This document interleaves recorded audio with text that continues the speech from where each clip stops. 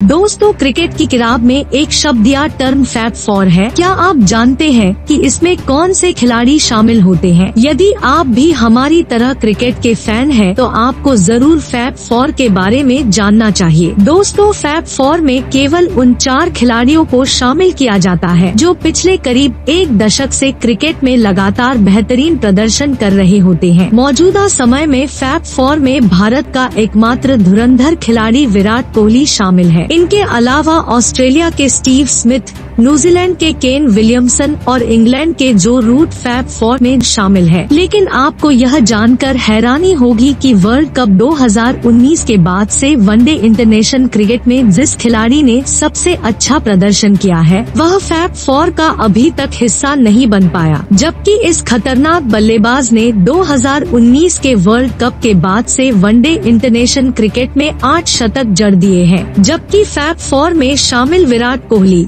Steve Smith, Kane Williamson और Joe root सभी ने मिलकर कुल नौ शतक जड़े हैं। यहाँ तक कि दो बल्लेबाज तो फैब फोर में ऐसे हैं, जिन्होंने साल 2019 के बाद से अभी तक एक भी शतक नहीं जड़ा है। इनमें एक नाम जो रूट का है जबकि दूसरा नाम न्यूजीलैंड के कप्तान केन विलियमसन का है। हालाँकि इन दोनों ही बल्लेबाजों ने one day international cricket world cup 2019 के बाद से बहुत ही कम इंटरनेशनल मैच खेले हैं। लेकिन दोनों ने कम से कम 15-15 मुकाबले तो 2019 के बाद खेले ही हैं। हालाँकि फैप फोर में विराट कोहली अभी टॉप पर है। इन्होंने वर्ल्ड कप 2019 के बाद पाँच शतक जड़ दिए हैं। जबकि फैप फोर के स्टीव स्मिथ के बल्ले से चार शतक निकले हैं। दोस्तों, आपको बता दें, ये खिलाड़ी कोई और नहीं बल्कि पाकिस्तान क्रिकेट टीम के कप्तान बाबर आज़म है। बाबर आज़म इन दिनों बेहतरीन फॉर्म में है और ये फैप फोर के सभी खिलाड़ियों को अकेले दम पर ही टक्कर दे रहे हैं।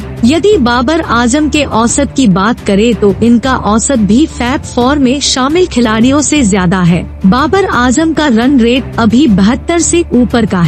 जबकि फैप फोर के स्टार बल्लेबाज विराट कोहली का रन रेट छियालीस फ़ीसदी स्टीव स्मिथ का औसत उनसठ फ़ीसदी केन विलियमसन का छियालीस फ़ीसदी, वही जो रूट का पैतीस फ़ीसदी है यदि रनों की बात की जाए तो बाबर आज़म रनों के मामले में भी इनसे बहुत आगे हैं। उन्होंने वर्ष 2019 के बाद से 1878 रन बनाए हैं जबकि विराट कोहली ने 1612 रन फैप फोर के स्टीव स्मिथ ने 1129 रन बनाए हैं। केन विलियमसन और जो रूट तो 500 का आंकड़ा भी पार नहीं कर पाए। लेकिन अर्धशतक के मामले में फैप फोर का एकमात्र बल्लेबाज विराट कोहली है जिन्होंने बाबर आज़म की बराबरी की है। दोनों के 11 ग्यारह अर्धशतक है। दोस्तों, क्या बाबर आज़म को इंग्लैंड के जो रूट की जगह फैब फोर में शामिल किया जाना चाहिए या नहीं? कमेंट बॉक्स में अपनी राय ज़रूर दें। यदि इन्फॉर्मेशन अच्छी लगी तो प्लीज़ इस वीडियो को लाइक व क्रिकेट हिमालयाज यूट्यूब चैनल को सब्सक्राइब करके हमें अपना प्यार ज़रूर दें।